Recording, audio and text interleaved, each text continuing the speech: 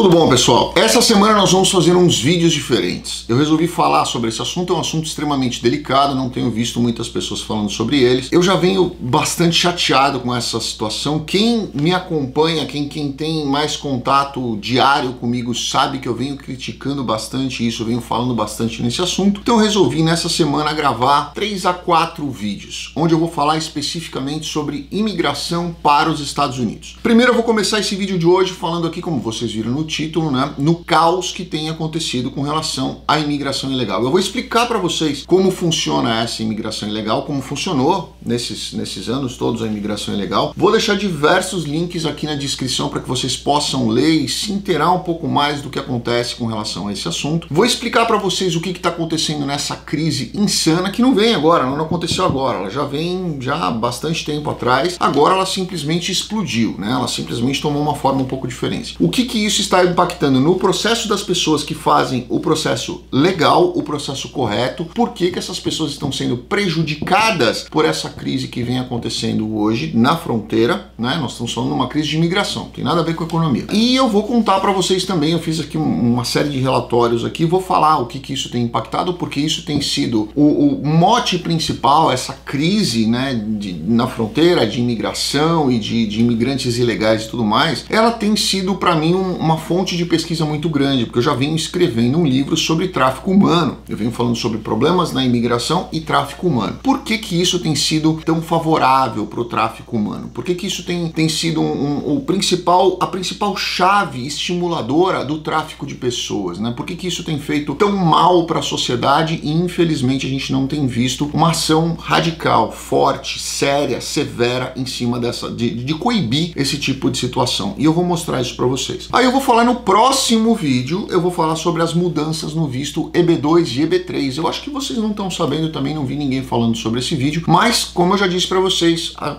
Cris tem uma, uma, uma, proximidade muito grande com os senadores. Inclusive, o nosso escritório é do lado do Congresso, onde ela tem bastante contato com os senadores, que são amigos dela. E eles passaram algumas informações que vão ser muito interessantes nas mudanças que vão acontecer nos vistos EB2 e EB3. Eu acho que nós vamos ser os primeiros a falar sobre esse assunto aqui. E um outro vídeo que eu quero falar, que são as mudanças nos vistos de turismo, tá? Não vão impactar o ESTA, ou seja, países que tenham esse acordo do ESTA com os Estados Unidos, mas vão impactar todos os outros países que precisam tirar visto de turismo, tá? inclusive o Brasil. Então, sugiro a vocês que assistam todos os nossos vídeos dessa semana, porque eles vão falar sobre esses assuntos que são extremamente importantes para quem pretende morar de alguma forma ou migrar de alguma forma para os Estados Unidos. Então, vamos lá, eu vou começar esse assunto aqui falando para vocês, explicando para vocês, eu fiz aqui uma síntese bem curta para explicar o que é o processo do Kaikai. Bom, eu acho que o mais importante de eu explicar aqui para vocês é que eu sou totalmente contra a imigração ilegal. Eu não sou totalmente contra porque às vezes a gente vê aqui eu, alguns vídeos que eu fiz já as pessoas, primeira coisa que elas fazem ali embaixo é, elas criticam, né? Ah, você é contra a imigração ilegal porque você já está nos Estados Unidos e você já conseguiu documentos e você não está nem aí para as pessoas que estão vindo ou estão passando alguma necessidade em algum outro país. Eu vou mostrar para vocês que é exatamente o contrário. As pessoas que estão entrando de forma ilegal é que não estão pensando nas pessoas que entraram de forma legal. Vocês vão ver isso como essa questão do egoísmo que muitas vezes as pessoas nos acusam ou me acusam. Eu vou, vou falar só sobre mim. Muitas vezes o egoísmo que essas pessoas dizem que eu tenho por ser contra a imigração ilegal é exatamente o contrário. Quem está entrando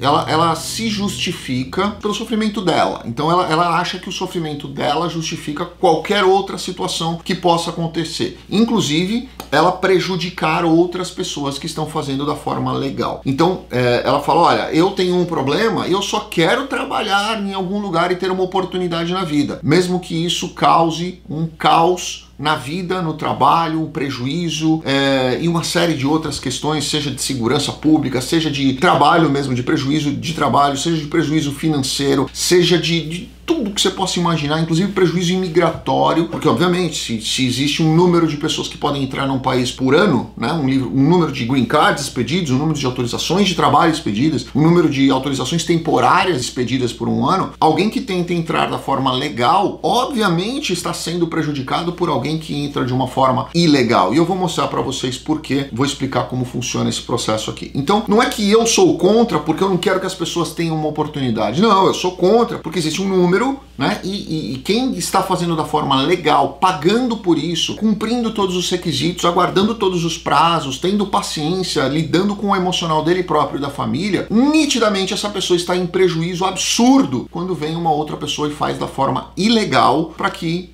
pelo forceps, na, na no, no, como eu digo, no estupro de fronteira, essa pessoa acaba entrando e forçando uma outra situação. Então, ela não está preocupada com o que o outro está gastando, com o que o outro está tentando, com a oportunidade que o outro tentou fazer da forma correta. É por isso que eu sou contra. Tá? Então vamos lá. Sem hipocrisia, a gente sabe que existem dezenas centenas de milhares de pessoas que invadem os países, não só Estados Unidos, todos os anos, né? Então, na Europa você vê muito isso, nos Estados Unidos, as pessoas falam muito da fronteira com o México, né? Porque ali é da onde vem muita gente pobre. A gente vê muita gente fazendo caravanas e invadindo os Estados Unidos, mas geralmente são pessoas ali de um poder aquisitivo um pouco mais baixo. O que a gente também não pode esquecer é que existe a fronteira do Canadá. E na fronteira do Canadá existem também os coiotes, entre aspas, aí, que fazem a travessia travessia ali do lago, que a gente escuta falar demais, de jet ski. Né? Então, assim, eles fazem a travessia, pega, vai pro Canadá, consegue o visto canadense, entra no Canadá, faz, fica ali no Canadá um tempo, pega o jet ski e atravessa pelo lago. Então, quer dizer, é, existe também esse tipo de, de, de migração ilegal, né? De imigração ilegal. Mas ele é muito menor do que a fronteira do México, obviamente, porque a pessoa precisa ter uma certa condição para conseguir um visto canadense, chegar no Canadá, justificar a razão pela qual ele está ali, depois ele vai ter que fazer um contato para poder fazer a travessia. Então, o número de pessoas é bem menor do que do México. Então o México virou essa, essa grande bolha e se instaura dentro dos Estados Unidos há muitos anos. Isso não vem de agora, isso não é Biden, isso não é Trump, isso não, não é, é Obama, isso não, não, é nada. Dezenas de anos para trás. Mas o que, que aconteceu agora nesse momento? Isso se agravou absurdamente por um monte de razões que vocês possam imaginar. Essa situação da pandemia que agravou a miséria nos países, a questão do Biden que falou um monte de besteira na, na época das eleições, prometendo e, e dizendo e que os, os, imigrantes teriam aí uma nova oportunidade, ia fazer a lei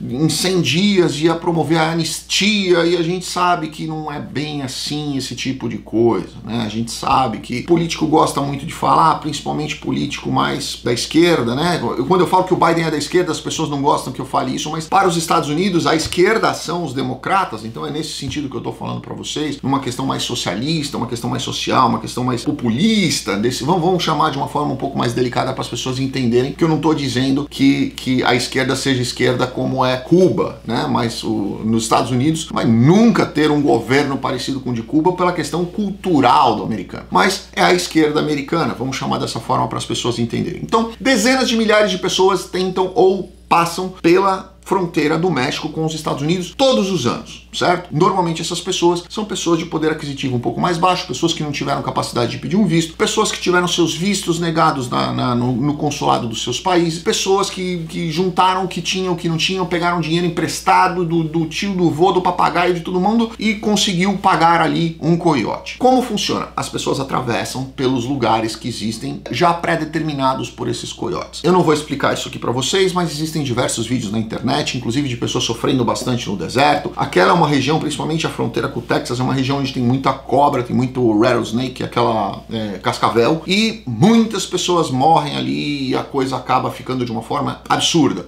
que as pessoas nem sabem o que acontece. Isso não é noticiado, isso não é falado, porque isso não dá audiência, mas eu estou trazendo aqui para vocês, quem quiser só entrar na internet, tem diversos vídeos mostrando ali o absurdo, a falta de humanidade na qual as pessoas se colocam. E o que eu acho um outro grande absurdo são as pessoas dizerem, é, inclusive em vídeos meus, se vocês forem olhar os vídeos que eu contei das famílias deportadas, eu não estou fazendo vídeo de, de família deportada para ser melodramático ou para fazer com que as pessoas, ah, ah, não, olha só o que está acontecendo. Não, pelo contrário, estou mostrando para que as pessoas não façam, para que as pessoas não cometam esses erros, não cometam o equívoco de achar que a imigração dos Estados Unidos não sabe do que está acontecendo. Não cometam o erro de achar que eles são todos trouxas e que eles vão fazer de conta que, ah, não, eu acreditei nessa história da caronchinha que você contou. Não, eu estou fazendo esses vídeos para as pessoas não fazerem aquilo. E as pessoas vêm ali embaixo e comentam, não, mas vocês precisam ver que a, eu não quero nunca ir para os Estados Unidos porque a, eu sou tratado que nem lixo, a imigração dos Estados Unidos nos trata que nem lixo. Eu discordo. Às vezes alguns agentes pegam um pouco mais pesado, concordo com vocês, é a minoria, É a grande minoria, é, é, são pouquíssimos. Todas as vezes que eu tive contato com agentes, com exceção de uma vez, quando eu tinha uns 18, 19 anos, que eu vim com a minha mãe, que eu vi a primeira vez um agente sendo ríspido. Ele não foi grosso, não foi estúpido, mas ele foi ríspido, tá? Ao ponto assim de eu me assustar e falar, mas por que, que ele tá falando isso? Desnecessário que, foi, o que ele falou, mas talvez ele tivesse ali só fazendo o trabalho dele. Então foi a única vez que realmente nós tivemos uma situação é, difícil, é, assim, de, de, de, de rispidez com relação de um agente. Mas a gente vê que eles realmente estão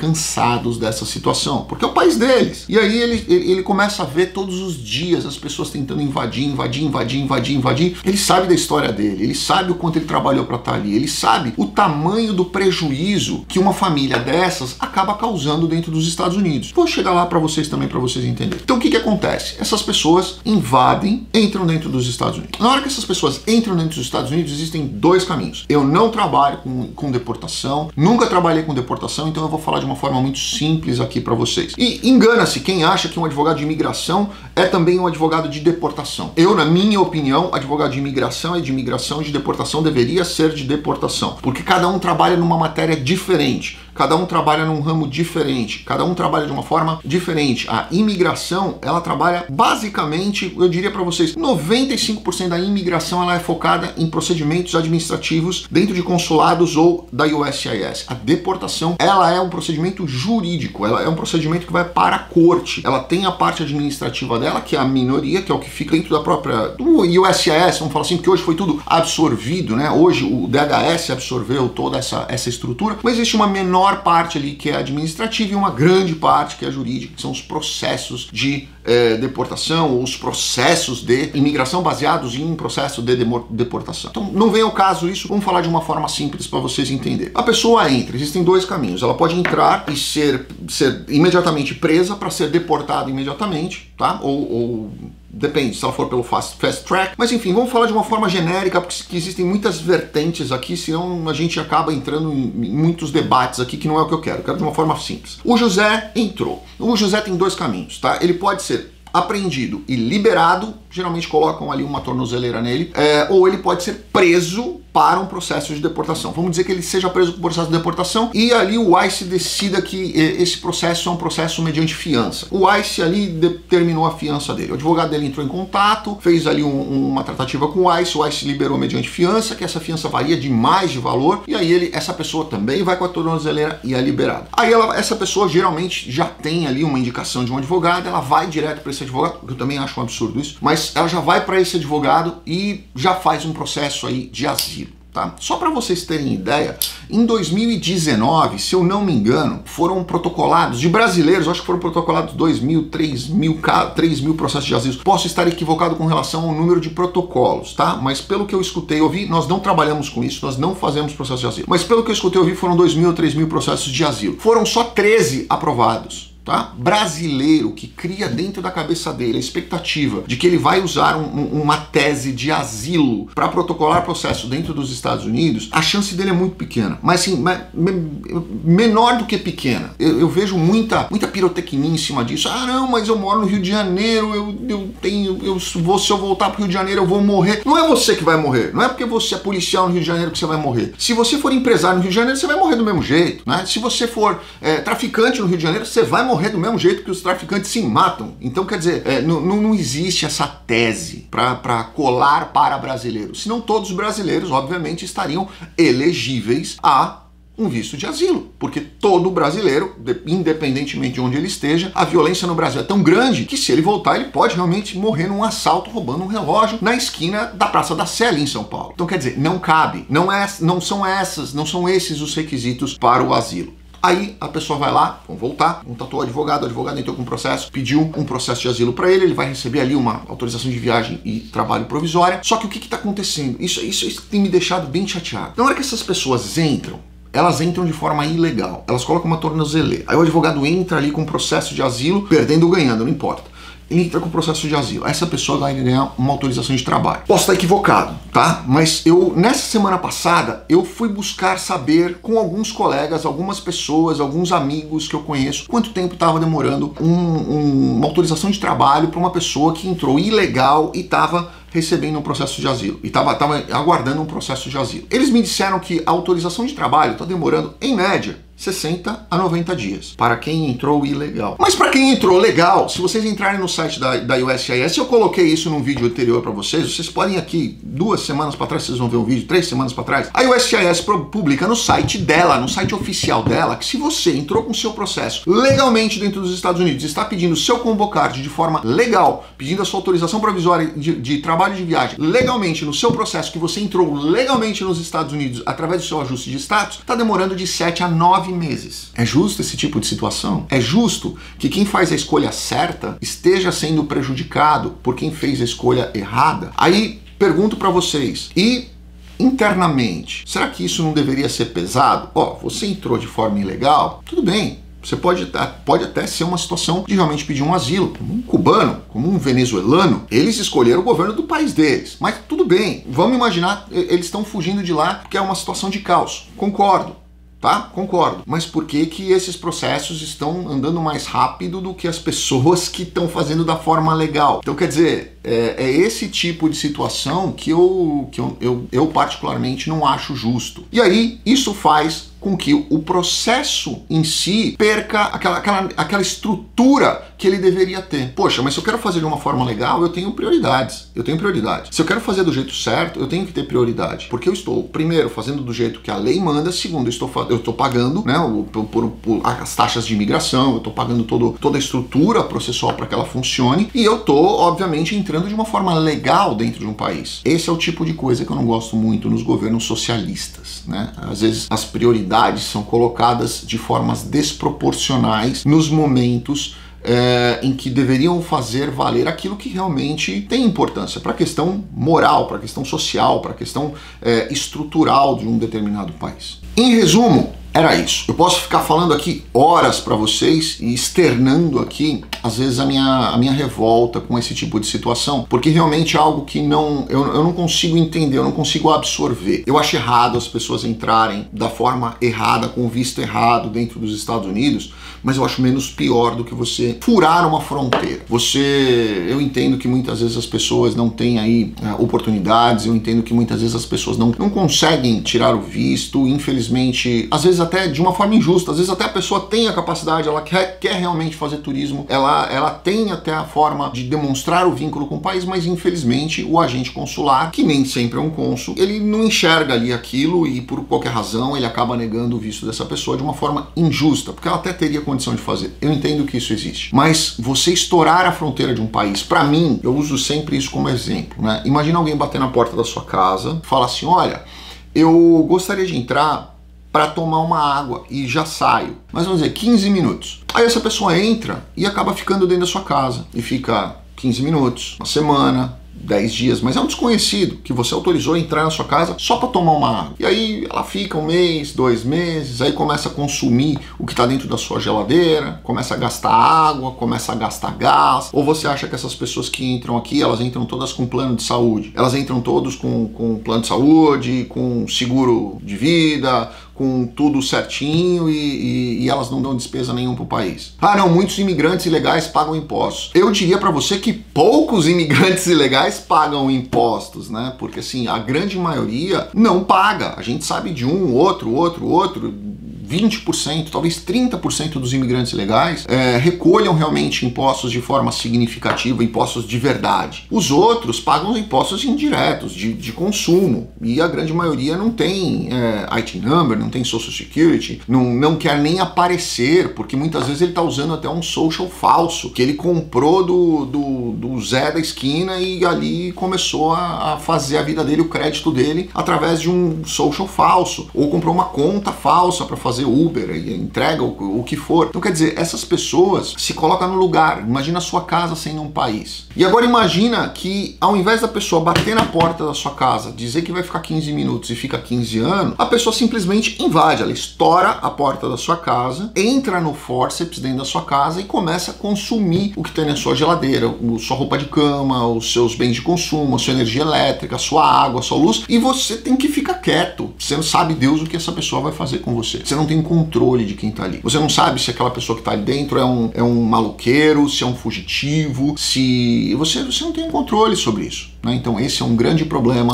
que hoje é um, um, problema mundial. A gente tem visto isso acontecer em vários países do mundo, por uma série de questões aí, que a gente vai desde aquecimento global com falta de, de, de recursos, né? A gente tem, tem cada vez menos recursos de alimentação no mundo. A gente está vendo uma série de conflitos acontecendo em diversos lugares do mundo e as pessoas estão fugindo desses conflitos. A gente está vendo diversos países aí de extremismo comunista, onde as pessoas vivem numa miséria miserável. Nossa, miséria miserável, ficou até estranho, mas vocês entenderam o que eu quis dizer. E vocês veem aí essas pessoas querendo sair dali. A crise mundial fazendo as pessoas quererem sumir da onde elas estão para entrar em algum lugar onde elas acreditam, hipoteticamente, que seja um lugar mais rico, mais próspero, com mais oportunidades. E não é bem assim que as coisas acontecem, que as coisas funcionam. Né? Hoje a gente tem um grande problema de contratação de funcionários nos Estados Unidos, porque as pessoas estão vagabundeando em casa recebendo verba do governo, mas daqui a pouco isso aí vai cortar, né? Espero eu. E na hora que isso aí cortar, a água vai bater no, no peito das pessoas, elas vão começar a querer trabalhar de qualquer jeito, a qualquer custo, porque elas vão, agora não tem mais de onde tirar dinheiro. Então eu vou precisar e vou ter que suar a camisa de novo. Isso vai se normalizar. E com esse